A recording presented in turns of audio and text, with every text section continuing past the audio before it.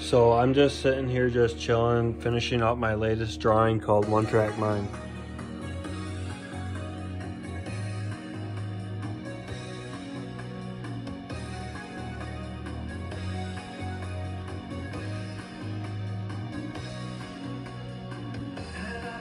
Till